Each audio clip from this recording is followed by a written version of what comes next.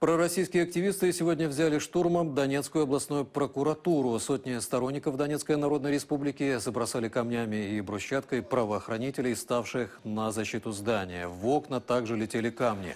Были слышны взрывы светошумовых гранат и звуки, похожие на выстрелы из травматического оружия.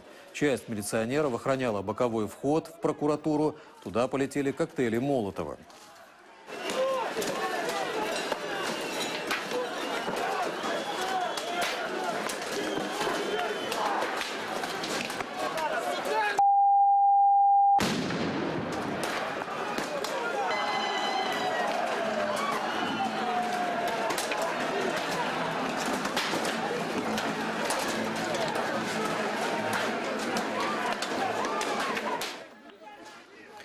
После получасового противостояния митингующие в буквальном смысле слова прижали правоохранителей к стене, забрав у них щиты и защиту. Позже, когда прокуратура уже была захвачена, митингующие организовали коридор, по которому в первую очередь выводили пострадавших милиционеров.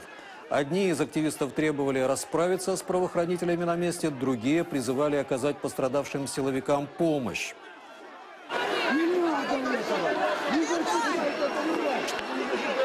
Понимаете, что у нас нет У него что выиграл? Дед! Кто дед? А кто у него? Служил. Да подожди,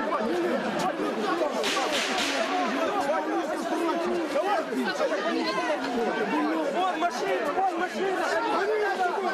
Не, идите, идите, пошли. Вот он, давай, сюда, сюда. Иди сюда.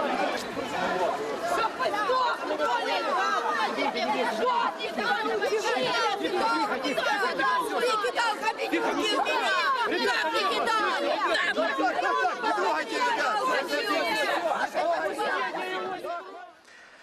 На данный момент известно о 15 пострадавших в противостоянии. Они доставлены в нейрохирургические и травматологические отделения больниц Донецка. У пострадавших различные травмы.